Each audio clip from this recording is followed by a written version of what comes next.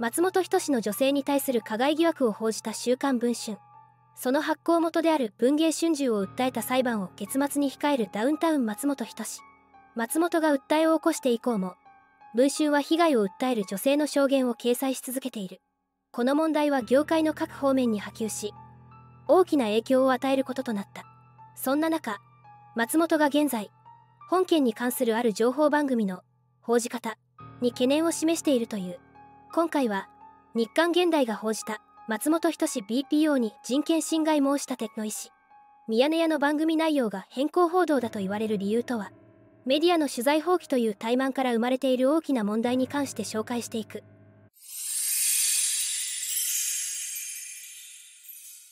1月8日にタレント活動の休止を発表した松本人志。休業に入って2ヶ月以上が経ち各局の番組から松本の姿が完全に消えた。松本に訴えを起こされてからもその報道の手を緩めず随時被害を訴える女性からの証言を報道し続けている「週刊文春」同誌の記事が出るたびに各局の情報番組でもその記事が取り上げられている。しかしそんな中休業中の松本人志がとある情報番組の報じ方に懸念を示しているという。その番組が日本テレビの情報ライブミヤネ屋だ。ある芸能ライターはこう話す。民放の情報番組は裁判の見立てについて弁護士やコメンテーター任せの報道になってますが唯一威勢がいいのが読売テレビ制作の日本テレビ系情報ライブミヤネ屋です。ミヤネ屋は基本週刊文春の記事の垂れ流しです。その一方で文春の記事について嘘ばかりと異論を唱えて具体的に誤りを指摘したセクシー女優の下月ルナの投稿については触れていません。中立な立場で報道するべき情報番組。しかしミヤネ屋は松本やその後輩芸人たちを批判する文春の記事ばかりを取り上げ対立する意見には一切触れていないのだ。さらにミヤネ屋は2月15日の放送で当時の「週刊文春」最新号を取り上げ松本が売れるまでとその時々の女性関係を40年以上前の証言などを使い報道と記事の用紙を紹介。システム文春が指摘する共通点という見出しで文春が主張した女性上納システムに関しての詳細を箇条書きにして放送した。もちろんこれはミヤネ屋の独自取材ではない。文春の受け売りで事実であるかもわからないにもかかわらず詳細に解説したのだ。ミヤネ屋の本件の取り上げ方について一部では松本潰し吉本潰しという声も上がっていたという。そしてこの松本問題を積極的に取り上げるミヤネ屋の姿勢は2019年6月に発覚した吉本興業のタレントの闇営業問題のサイトに通っているという指摘もある。ミヤネ屋は関西制作とはいえ司会の宮根誠司の所属事務所は在京大手芸能プロダクション参加です。2019年の吉本のお笑いタレントの闇営業問題の際日テレが朝の情報番組でこの問題を連日のように放送していた時と展開が似てきています。タレントの闇営業問題で吉本の岡本明彦社長の謝罪会見を受けて当時吉本に所属していた加藤浩次は MC を務めていた同局の朝の情報番組『スッキリ』で今の社長会長の体制が続くんだったら僕は吉本興業を辞めると吉本の体制批判するコメントをした。その直後加藤は大崎と面談してトーンダウン。これにより問題は収拾すると思われた。しかし『スッキリ』はその後も闇営業問題を取り上げ続けたことで吉本の上層部は日テレに不信感を持っていました。当時の日テレ社長は吉本に否定的な在京大手プロの幹部たちと親密な関係性でしたから。こうした背景がある中松本の文春報道を連日のように放送するミヤネ屋を松本自身も注視していると言われている。松本と近しい関係にあるお笑い関係者はこう話す。松本は裁判に備えて活動休止中ですが情報収集の一環としていくつかの情報番組をチェックしているといいます。裁判で白黒がはっきりしていない中変更報道の疑いが強いとしてミヤネ屋について BPO 放送倫理番組向上機構に人権侵害の申し立てを検討しているとも聞いています。テレビ局と芸能事務所の関係によって変更報道が行われているとすればこれは大きな問題である。実はこの問題に関しては業界からもすでに指摘が出ていた。例えばお笑い芸人の田村淳も自身の SNS でこのような苦言を呈している。ずっと同じ内容のポストして恐縮ですが週刊誌に被害を訴えてる人たちの証言と同じくらい。クロスバー直撃の渡辺センスの証言と霜月るなさんの証言もマスメディアで扱われるべきだと思う。裁判前とはいえとても理不尽だと感じる。渡辺センスはこれまでにもフライデーの記事や文春の取材に関して強く非難する主張を展開しているがワイドショーなどはほとんど取り上げていない。取り上げているのはとりわけネット記事や YouTube などのネット媒体だ。こうした一部の報道媒体による問題についてダイヤモンドオンラインに掲載された記事では松本人志問題で文春否定の証言を黙殺。マスコミが死刑を下す。変更報道に走るわけと題して解説している。〇〇によりますとと他人の話に乗っかって無責任に疑惑報道を煽るだけ煽っていざそれを否定するような声が出ても黙殺する。その結果疑惑を指摘された人は罪人イメージが定着して社会的に抹消されていく。自社の取材をするわけでもなく他の媒体が報道した内容を取り上げセンセーショナルに報道する。刺激が強ければ強いほど視聴者は食いつく。こうして疑惑を向けられた人間は真偽が明らかにならないまま悪者認定され疑惑を否定しても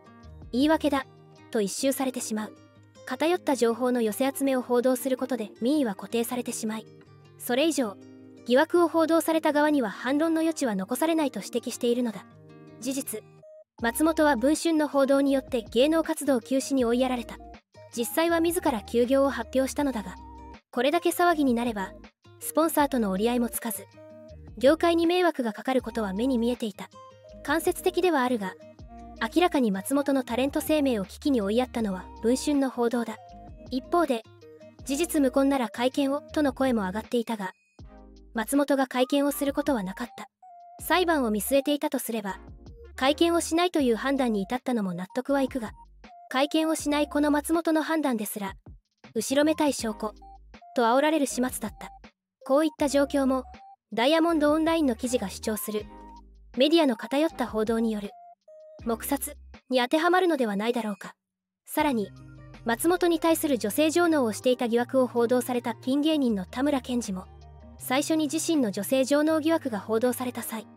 週刊誌のことを100%正しいと思うのか。こっちの話も聞いてほしい。と訴えていた。にもかかわらず文春は相次ぐ女性の被害告発内容を女性上納システムという過程を立証するべく掲載を続行。しかしここへ来てどうやら文春は田村に対しても取材交渉を申し出ているようなのだ。文春は本件大球団の記事で田村に対して取材交渉をしたことを明らかにしている。これだけ見れば文春が双方の意見を取り入れようとした姿勢が確認できるようにも感じられるが文春が訴えたのはそんな取材交渉に対する田村の驚きの反応だった。文春は田村から返ってきたメッセージに取材報酬の催促とも取れる一文があったことを明らかにしあれだけ自身の主張に耳を傾けるよう求めていた田村がいざ文春から取材を申し出られた途端取材報酬について言及したことを文春は矛盾していると主張したのだ。しかしこれには田村本人がすぐに自身の X で反論をしている。反論投稿の冒頭で田村は文春記者からの DM での取材交渉メッセージ内から抜き出した。個人情報にはご配慮いただけたらと思いますという一文を引用し間違った情報で人の人生をむちゃくちゃにしてる方の言葉とは思えませんが配慮させていただきます。と切り出した。そして自身の X 上に文春記者とのやり取りのスクリーンショットを添え田村健二様から始まる文春記者からの取材依頼を名前を伏せずに公開したのだ。文春から送られてきた DM のスクリーンショットには取材交渉を試みる文春記者のメッセージ。これに対し田村が取材拒否をしていることがうかがえる。これを一旦は了承した記者だったがそのわずか4時間後再び田村に質問文を送っていることがわかる。一度拒否したにもかかわらず質問をぶつけてきた記者に対した村はこれは取材でしょうか？お答えしたら謝礼はいただけるのでしょうか？と皮肉交じりに返しているのだ。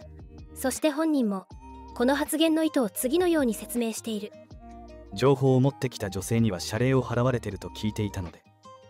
僕にはいくら謝礼？ギャラいただけるのかを確認させていただきました。雑誌の取材を受けたら基本。僕たちはギャラいただいてますので。で払わないと言われたのでそれ以降に。お話ししないのは当たり前だと僕は思っています。文春さんの売り上げに貢献するのはどう考えてもおかしいと僕は思いました。と文春の取材を断った理由と謝礼に関して言及した理由を明かした。このやり取りを田村からの取材報酬要求と報じるのはかなり上げ足取りのように感じられる。これに関しては世間からも一通り落ち着いて続報の玉が尽きたあたりで取材させてくださいは文春は本当に卑怯な人たちだと感じますね。聞くなら一方的に報道する前に聞けよと。世間に松本グループイコール女性を物のように扱う悪というイメージをしっかり植え付けた後で言い訳をさせる。もしこの取材に応じたとてきっと文春の思惑通りに書かれてしまうそういう人たちですからね。週刊誌なんて。のような指摘と呆れの声も出ている。しかし一方で田村や下月が文春などの取材を受けることで確信をつく質問をされることを恐れているのではないかという意見もあるようだ。つまり下月や田村も SNS を通じて自身の都合の良い情報だけを出しているのではないかという指摘だ。もちろんその可能性も否定はできない。しかし今回の文春の取材交渉の一連のやり取りを見ると田村と下月が取材交渉に応じない理由にもうなずける。今回松本が BPO に訴えを出すとされているミヤネ屋をはじめとする情報番組は一部こういった方法で取材が行われた週刊誌の記事をそのまま真に受ける形でテレビで拡散しているということになる。しかも対抗する下月や田村の主張は扱わない。双方を取り上げるのであればまだしもこういった偏った報道をテレビで放送しているとなると変更報道と言われるのも無理はない。そもそも自身も報道媒体であるはずのテレビ局が自ら足を運んで取材や調査を行っていないこと自体も指摘されている。つまりこれはメディアがその役割を放棄し怠慢状態であることに他ならない。彼らが行っていることは自分たちがこれまでにも批判してきた。ネット記事や YouTube 動画などの切り取り記事をそのまま報道する。こたつ記事と何ら変わりがないのだ。テレビという影響力の強い媒体であることを加味すればより立ちが悪いとも言えるのではないだろうか。これに関して世間からも多くの意見が上がっている。報道しない自由を駆使して自らの主張に否定的な証言は黙殺して自らの主張に沿った証言だけを取り上げるのはマスメディアにはよくあることですね。被害に遭った人たちは積極的に BPO に申し立てるか名誉毀損の裁判を起こして戦ってもらいたい。そうすればこういう無責任な番組は少なくなるのではないかと思います。松本人志氏には頑張ってもらいたいです。確かにミヤネ屋はじめワイドショーは下月さんの話が出てくる前までは弁護士やら有識者タレントを呼んで連日連日文春の主張だけを一方的に取り上げていた。それが今はピタッと話題にすらしない。中立公平さはどこへ行ったのか。これが民放各局の悪いところ。加害疑惑の件はともかく。松本さん側が BPO に訴えかけることについては支持したい。週刊誌は論外だが昼のワイドショーで何も調べもしないコメンテーターたちが番組や MC に合わせ偏ったコメントしている姿や偏見報道には嫌気がさしていた。どんどんこういった声を上げてほしい。世間に知られてなかった犯罪が週刊誌やテレビで注目されて広く認知されそれで最終的に逮捕されて裁判で有罪になった前例が全くないわけじゃない。マスコミが疑惑段階のことを報じるのが全てダメだとは思わないが都合の悪いことや報じたくないことを一切扱わないというのはダメ。特にテレビ局は意見が対立している問題は放送法を遵守するべきです。週刊誌や一部メディアの変更報道確かにその側面はあるよね。でも文春に追随できない他メディアのダメっぷりもひどい。文春が一強になってしまっているのも一つの問題。松本人志の報道が問題視される一方で同じ日本テレビのセクシー田中さんの制作チームが問題の解決をしないまま新ドラマ制作に着手していたことを報じたのも同じ文春だ。この記事は多くの人に称賛され最終的にこの記事がきっかけとなりドラマ制作が中断することとなった。これは